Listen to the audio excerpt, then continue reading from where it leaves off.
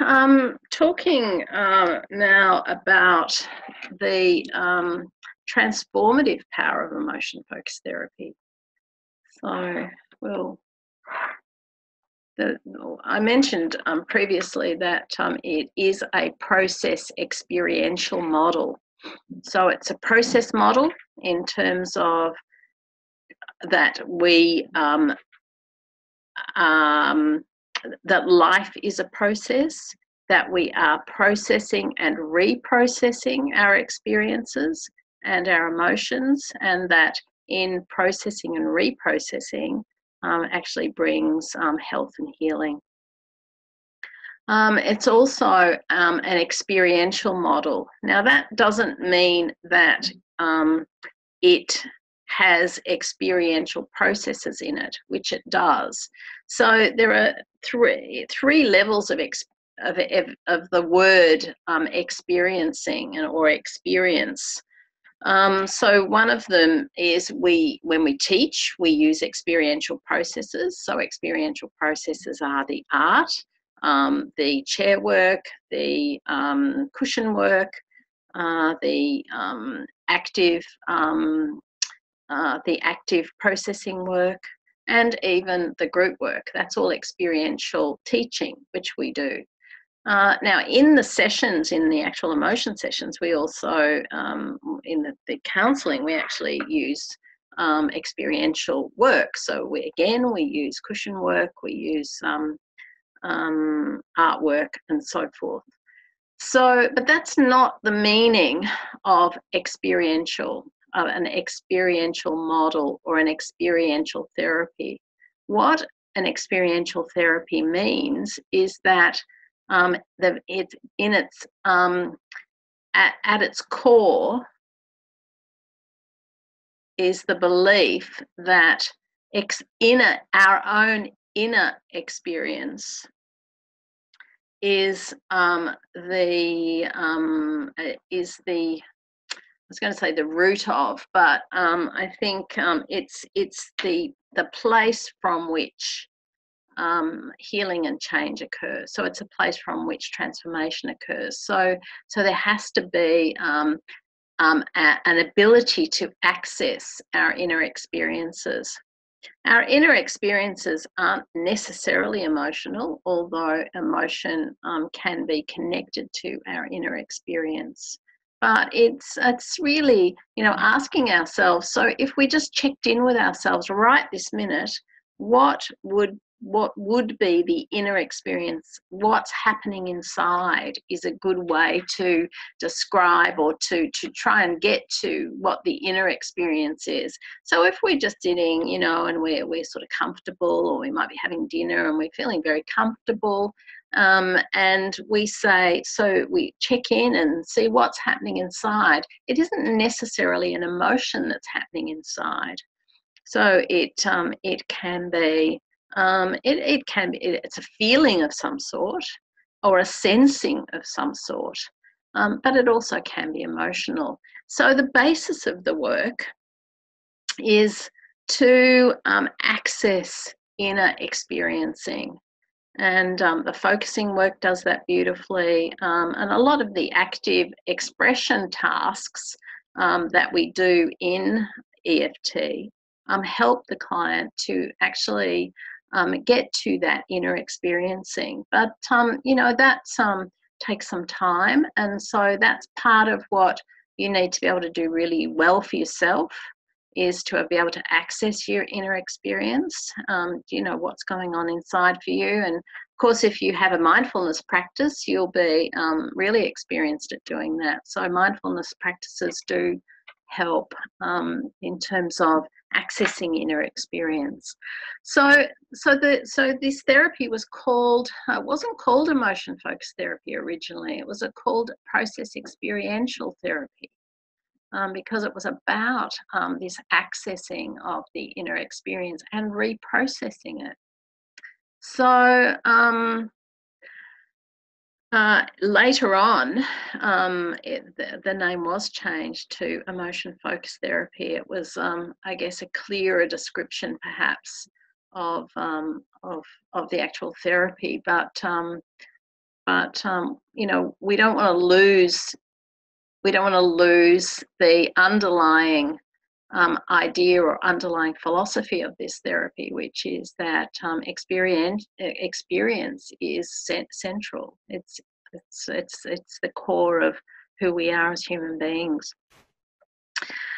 So um, um, we've got here um, process and experiencing together. Situations are experienced or re experienced or reinterpreted in their newness. And that's uh, a goal of emotion focused therapy. So um, that's where we start in terms of the underlying philosophy, um, which is um, very similar to the Rogerian philosophy as well. So, personal transformation occurs as a person changes their manner of experiencing.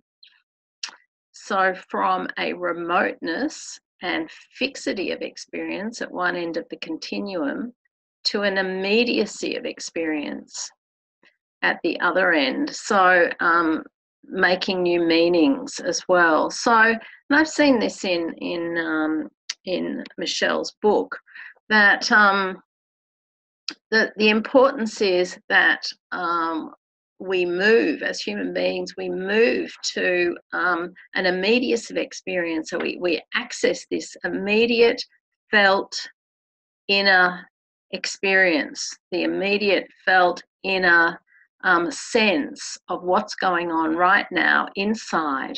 And then we, um, so we, we access it, we um, experience it, we express it, we process it, and we make meaning of it. So that these are the steps that we actually take. We make meaning, um, and so that's very different um, way of being in the world than um, than having a remoteness or a fixity of experience. This is how I experience things, and I'm not going to let myself or anybody else um, um, um, know that anything's different to that. So it's almost like um, if a person um, is um, has a fixity of experience, it means that they won't allow themselves to to it to um, uh, uh, communicate with their experience or or have access to their experience. So so it's like no, this is how I experience things. This is how it should be. It's um um, uh, they um, have very strong value systems, and the value systems are value systems connected to society rather than uh, value systems that um, are connected to an inner self or a real self. So, um, so um, they obviously we all have inner experience, and our inner experience changes in the moment, um, and that's um, the constructivist view um, philosophically. Uh, so, uh, but the thing is that if we have um, a, um, a, fixity of ex- of experience, we don't allow ourselves to actually access um, our true inner experience, and so therefore we don't really realize we've got one. So, um, so transformation, so transformation occurs as we help the client move along this continuum, and that's what we're doing in our work. um, they come in often, um, uh, you know, very remote from their experience, or they come in um, believing that the experience is such and such, or or they have a certain type of experience, and um, and so um, they transform as that shifts. Oh, pardon me. So. Uh, so the, the transformation happens at a personality level. It happens at um, a level of the self. It happens at um, it happens in terms of their pers- um, perspective. So we get perspective change, um, which is um, um, part, part of the definition of transformation is that there will be perspective change. and there's also um, change in relationships or in the way of relating. So people um, relate to others differently, and others relate back differently, and so they have a different experience of relationship. So this is truly transformative. If we keep our eye on this continuum and track it as um, as we we you know formulating um, our um, or, or assessing where our clients up to, um, we we we do see uh, these uh, changes. So, if we are not seeing change, if we're not seeing transformation, then what's happening is that uh, somebody's not moving on this continuum. So, we, will talk about that more as we uh, go through the go through the degree. Um, so, reorganization of emotion schemes um, takes place, and I, I've read this also in um, in Michelle's book that um, we get a reorganization of the emotion scheme, the reorganization of um, what Michelle calls the emotional signatures, and and of course there's a there's a um, um, a change in meaning, in personal meaning that accompanies that.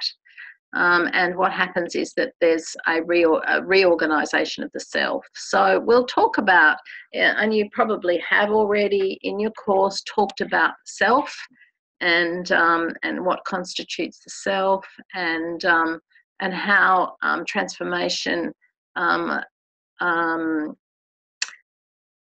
um, results as somebody reorganize, uh, reorganizes their, themselves or their self schemes.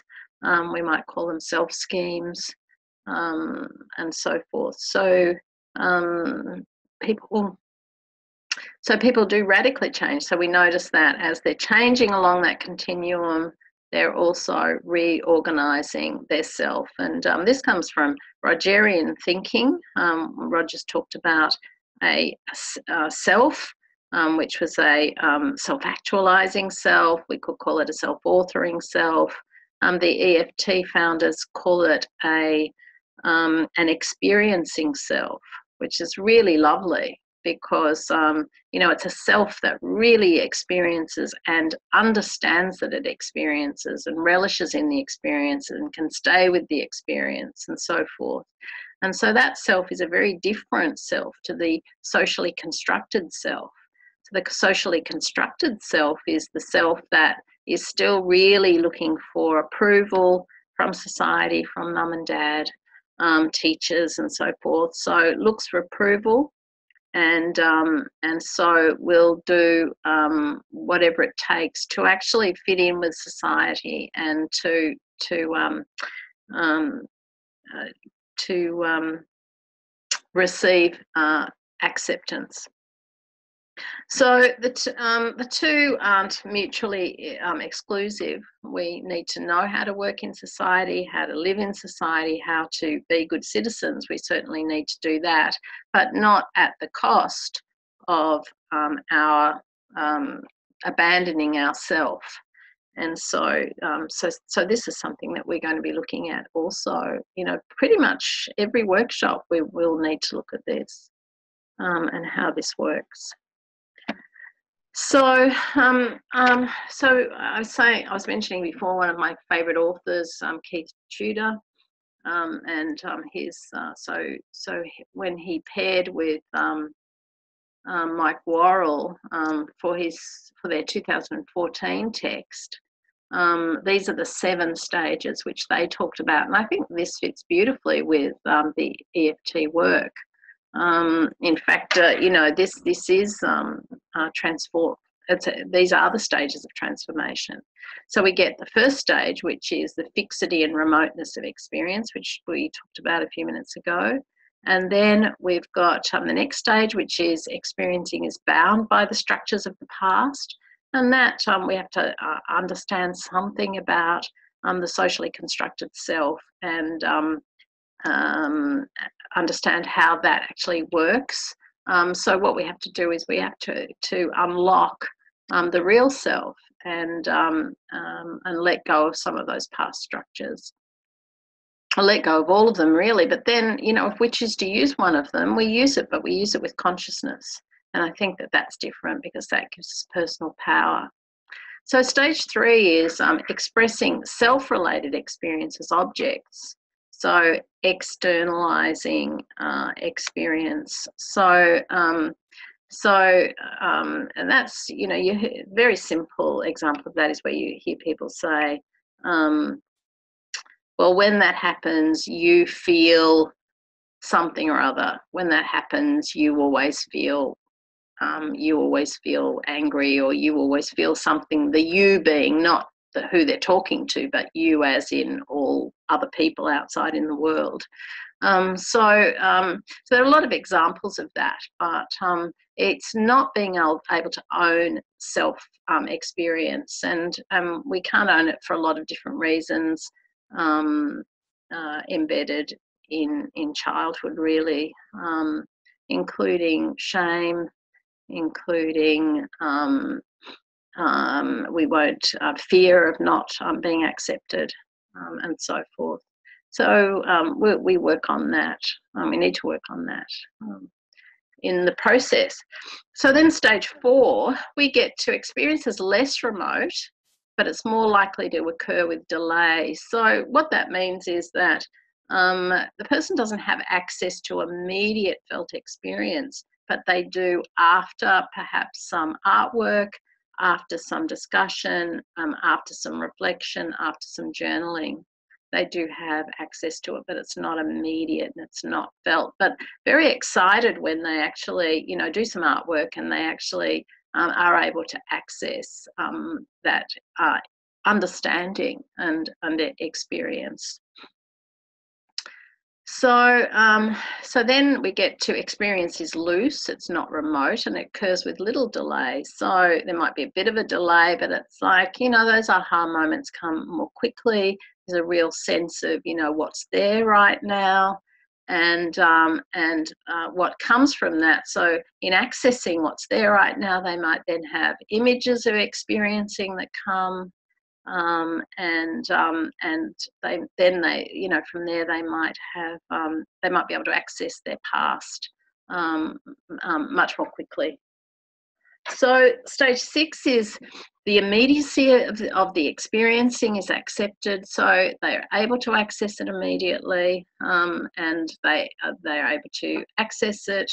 Uh, they're able to express it, experience it, and um, and they feel comfortable about doing that. That's just part of life. That's what happens in life.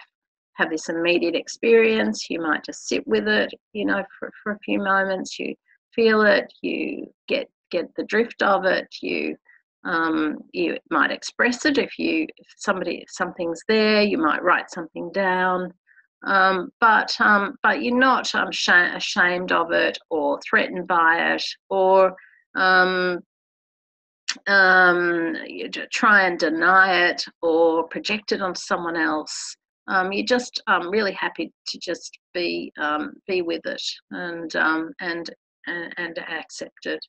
And then at stage seven, experience is fluid and, and experiences are accepted in full awareness, interpreted and communicated in their newness. So um, experiences change within the moment. So if we um, if we can access our inner experience, we just notice that it can then it then changes and then we're with the new experience and it changes. So that's the constructivist idea of um, of inner experience that once we touch it, it, it by its very nature changes.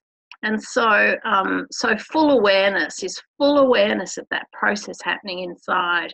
And there's not just some sort of acceptance, there's some sort of um, uh, um, joy in that process. So, and also, um, it's, you know, when somebody says, Oh, wow, I've just had this experience, or Oh, wow, I just want to tell you about this great thing. And that's about communicating in their newness. It comes with some surprise. Um, and um, and and there's kind of a fullness of experience, and so that's um, a stage seven um, experience. So you can just imagine how much um, a person um, lives a very different life when they're in when they live from stage one, stage two, stage three. If they're living at that that stage, you can imagine um, a very very different life to if they're living at um, stage six and stage seven. So of course um, there is going to be um, there is transformation um, in their entire life as they move uh, through these stages. so there's also in transformation in EFT there's a um, there's a movement um, um, from well um, sorry I've got it around the wrong way there from personal incongruence to personal congruence. So um, but incongruence just means and a lot of people don't know what this means, but it means that there's a discrepancy between the self um, as we perceive the self and um, and self-experiencing. Um, Carl Rogers called it organismic experiencing. But what that means is um, I perceive myself a certain way. So I might perceive myself as um, a very kind person. Um, or, or let's say I a um, better example might be I perceive myself as a very charismatic person. But my organismic experiencing is really when I check in with myself, I'm um, not so um, charismatic. I'm much um, more calm. I'm much more introverted. And I'm um, much more careful but I really see myself as charismatic. And I, you know, and I, that's how I identify myself, that's how I see myself. Um, but that's not who I am at the core.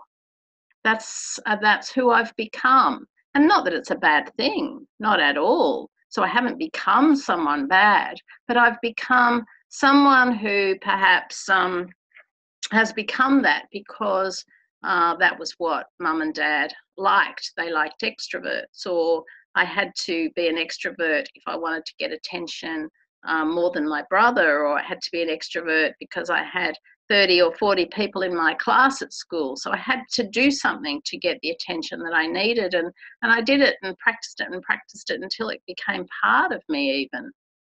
So, um, and um, I think the, the, the Gestaltists talk about this too um, as um, uh, as a creative adjustment. And they say that the child, the, the young adult, um, makes this creative adjustment and um, to, um, to become something, to become this certain personality, these certain traits. But they're very, very different to the deep, um, true self of the person. And so, um, so this creates um, what Rogers and uh, what um, the EFT, the underlying philosophy, um, calls incongruence, personal incongruence. And so, a lot of the uh, the the uh, chapters and the readings and the literature that's been written on this incongruence um, in, in terms of therapy or therapists tells us that we have to manage our own personal incongruence first as therapists. And so, if we can't manage our own personal incongruence, then what sort of state is going to be in the room, and how open then can the client be to actually um, becoming themselves, their true self? Um, so that's something that we need to look at also in our in our course and and um, in our development through the graduate certificate and through the graduate diploma.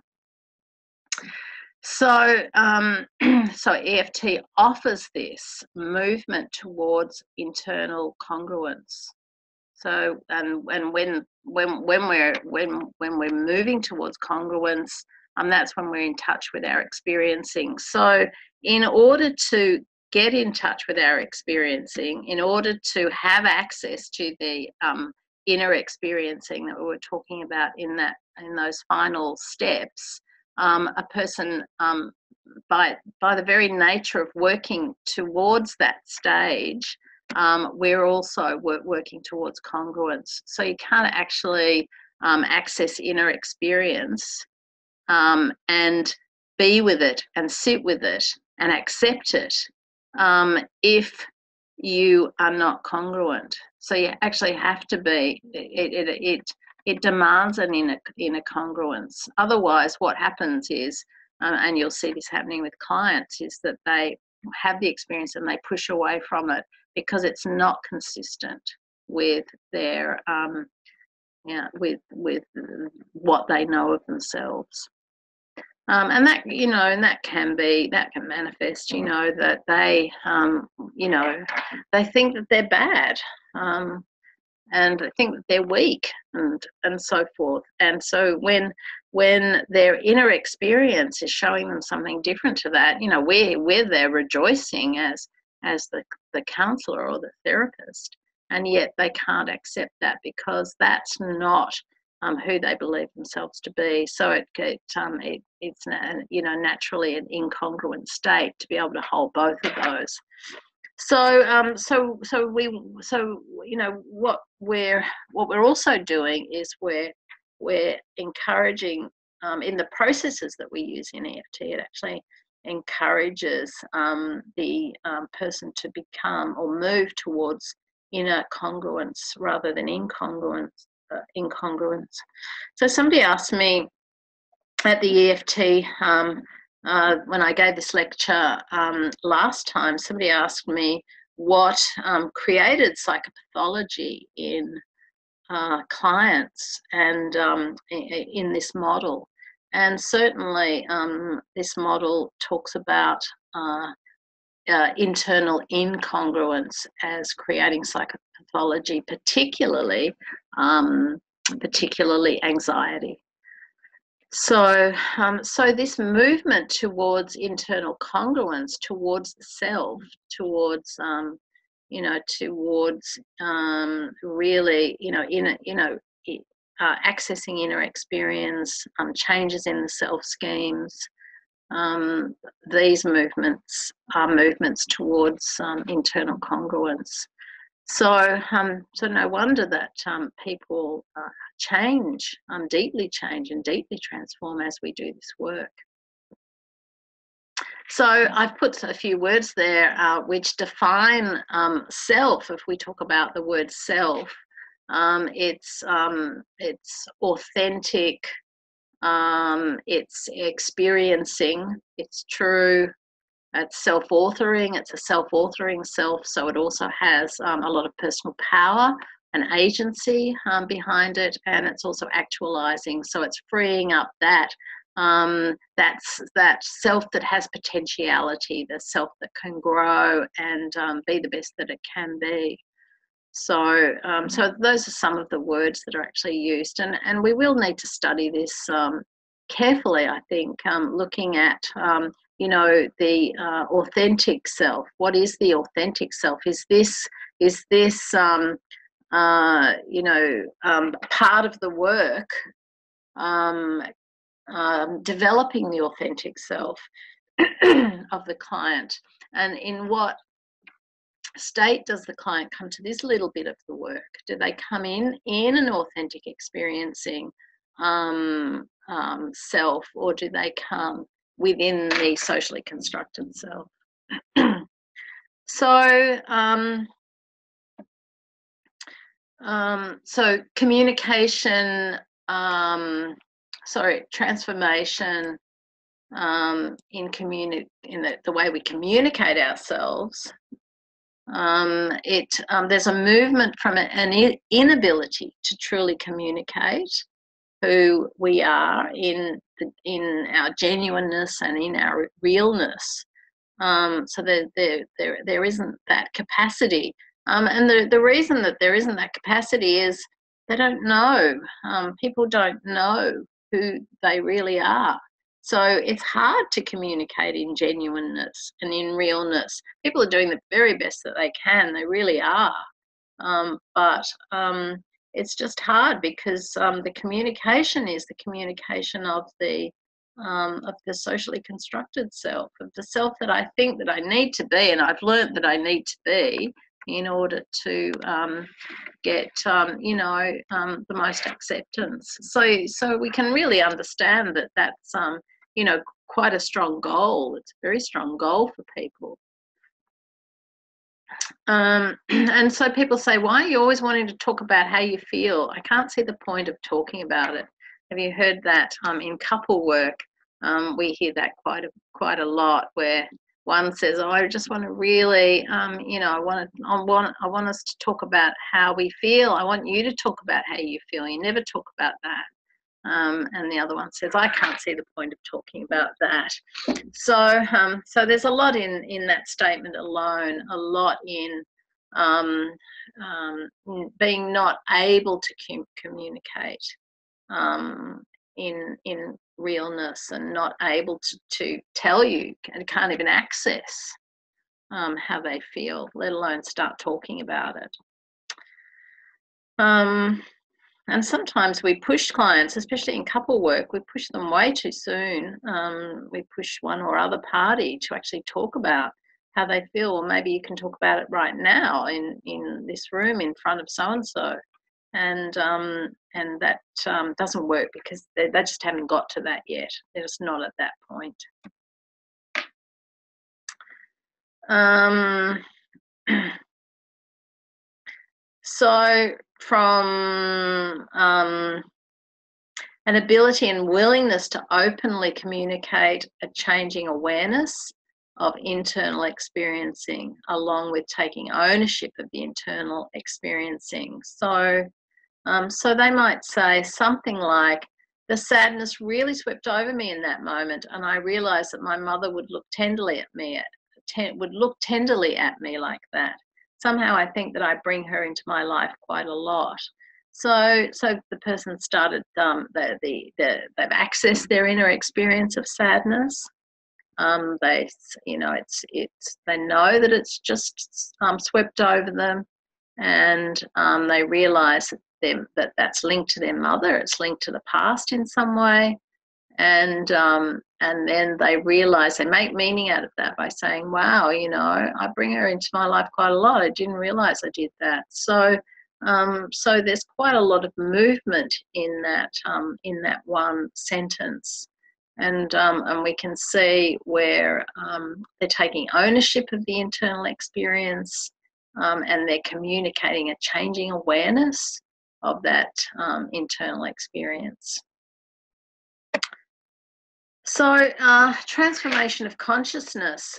um, this is um, probably um, much more philosophical, um, a philosophical base, but um, there are a number of consciousness theorists uh, in in the world, and my one of my favourites is Robert Kegan. Um, there's certainly um, Wilber, Ken Wilber, Some of you might know him.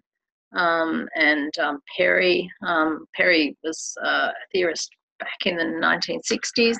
And then we've got people like um, uh, Belenky, who looked at women's ways of knowing, so looked at women's development of consciousness. So there have been quite quite a few of these of these guys.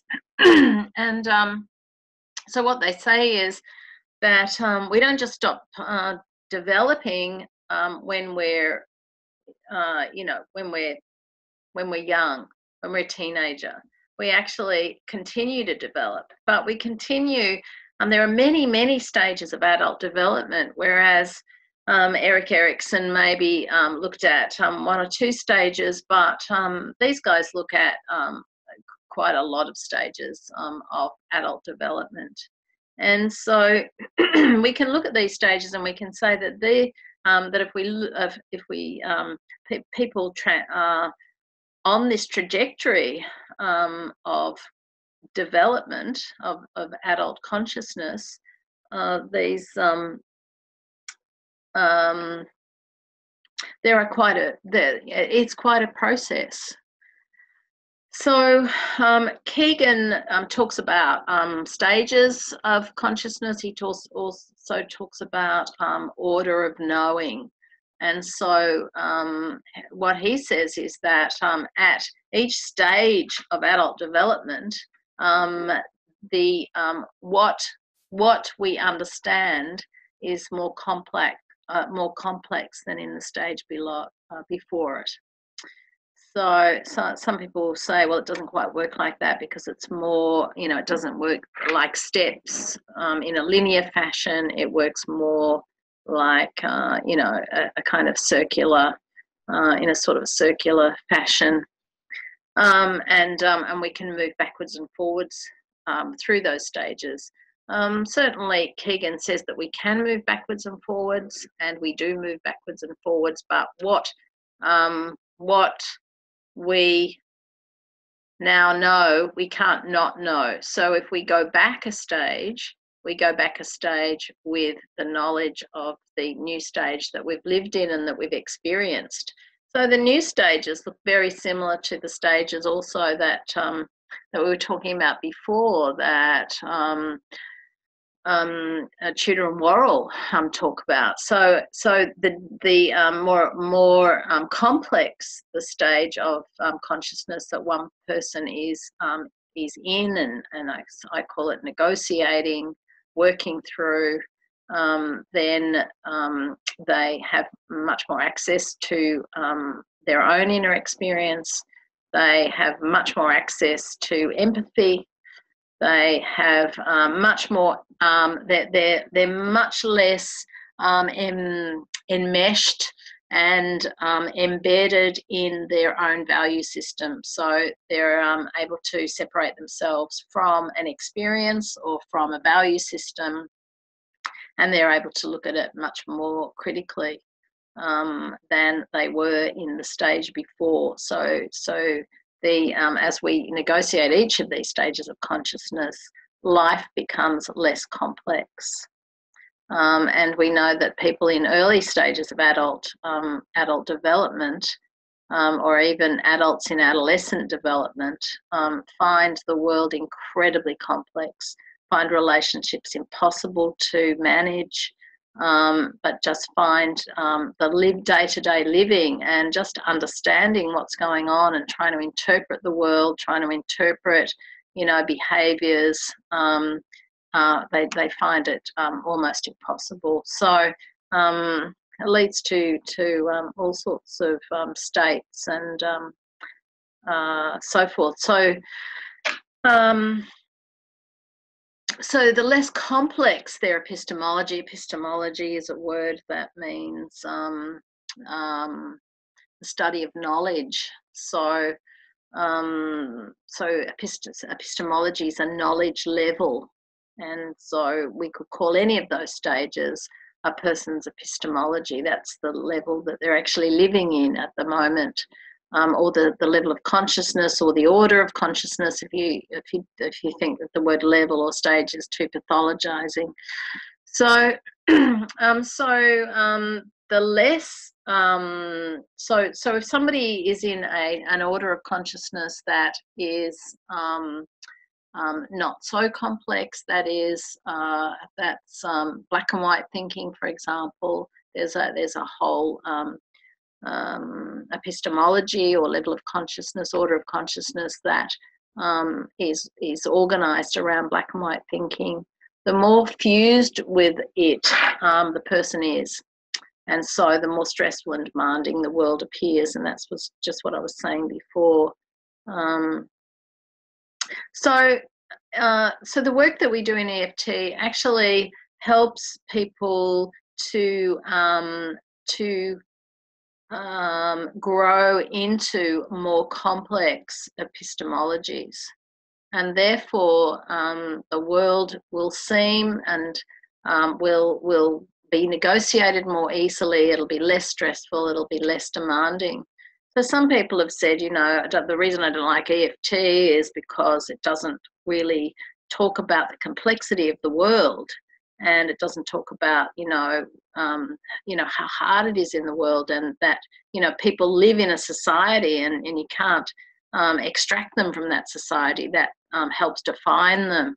And so and where where that's that is true um, I think that um, certainly um, Robert Kegan who, who is a psychologist and a philosopher would say that when we're working with um, somebody in a transformational way, then um, we are taking into account the, the stress of the world because what we're doing is we're um, giving them the opportunity to to to grow so that um, so that the world appears less stressful so they can manage the demands of the world so they can manage the complexities of the world they can manage complexities of relationships they can process their own inner experience and so life doesn't seem to be so um, so um, demanding and um, so complex. So the more capacity for internal experience and the expression and transformation of that experience the more the person can appreciate themselves and others and handle the expectations of society. So we need to, um, or, or, the EFT work actually, what, what it does, it, it opens the capacity, doesn't it? It it um, it expands the capacity for internal experiencing. Um, so we're talking about what you know the core um, thing about um, EFT is its focus on internal experiencing and then expression. So we've got internal experiencing, we've got expression, um, we've got, um, know, we start with accessing the experience, um, then experiencing the experience, expressing the experience, and then transforming the experience. Um, so we transform the emotional experience by um, um, having people experience another antidote emotion and um, and then make meaning of it. So that's they're they're the, those beautiful steps, and they sound simple when we talk about them. But I think that um, by the end of the graduate diploma, you know, you'll have um, that um, that knowledge that um, that you can actually bring about. Um, bring about or help help people bring about that change within themselves and the change of self which is which is absolutely crucial and increase, eh, you know, includes so much increasing their own sense of self, increasing their self concept, their self esteem, um, their capacity eh, to, to manage complex relationships, um, internal relationships, external relationships, um, gain agency and personal power in their lives, um, uh, have different perspectives, um, and and so forth. So, what a beautiful gift that EFT actually is, um, and um, um, for for our clients. And and a lot of people over the years, many many people have shared with me how um, transformed um, they have been, um, and particularly as students also going through the process um, and what a transformational process that is for students as well as for our clients. But we have to go through that transformation ourselves uh, in the process of, um, of learning EFT. So um, I'm really, really excited to, um, to be accompanying accompanying you on this uh, on this EFT learning journey. Um, I've accompanied many, many students before, um, probably hundreds of students before um, in Melbourne um, in um, the master's degree. And um, I, I'd like to continue that, and I know that I need to earn your trust and your respect. but I'm really excited about the possibility and the journey, and um, and uh, I've certainly, um, you know, making this move from Melbourne to Sydney um, and giving up um, another um, quite large um, job in terms of responsibility to to do this journey with you guys that have already started it. So I'm really looking forward to to being with you and to learning with you and sharing with you and um, to developing um, some you know significant um, relationships that will um, that will always be with us. So thank you for listening to this and. Um, um, you're welcome to contact me or call me or contact me through the the IEFT office, and and I'll be with you for the rest of your journey um, through your graduate certificate or your graduate diploma. So, thank you for listening to me tonight, and um, uh, I'll absolutely uh, look forward to seeing you um, in the future. Okay, good night.